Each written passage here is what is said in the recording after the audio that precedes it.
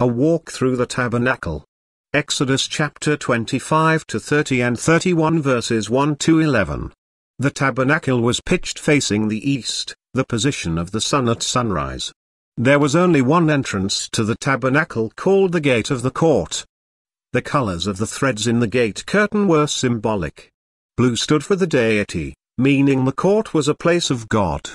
Purple, a difficult and expensive dye to produce, was a symbol of royalty.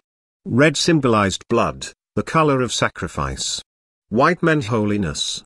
The courtyard fence, made of white linen, enclosed holy ground, and the priests wore white linen garments.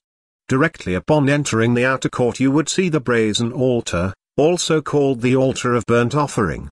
The Israelites made daily sacrifices to God on this altar to atone for their sin, Exodus chapter 29 verse 38.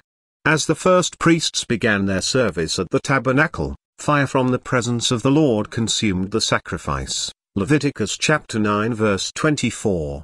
This fire of the altar was to be kept burning at all times. The horns of the altar were to be covered with blood at the consecration of the priests. Between the altar and the entrance to the holy place was a wash basin called a laver. This was where the priests had to wash themselves ceremonially so as to be consecrated or set apart for ministry. A curtain covered the entrance to the holy place. Only priests could enter the holy place where there were three items. To the right was the table of showbread and ahead was the altar of incense. To the left was the golden lampstand. The golden lampstand was fashioned as a tree with the base and middle shaft representing the trunk and with three branches on each side.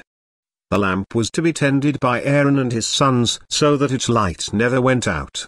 At the start of each week the priests placed twelve loaves of fresh bread on the table of showbread one for each of the twelve tribes. It served as a memorial food offering to the Lord. Aaron was instructed to burn incense on the altar each morning and at twilight every day, as a regular offering to the Lord. In Scripture, incense is often associated with prayer. The high priest alone could enter through the curtain to the Holy of Holies. This was allowed once a year on the Day of Atonement. Inside was the Ark of the Covenant. This lid of the Ark of the Covenant with the two cherubim that was placed on top was known as the mercy seat.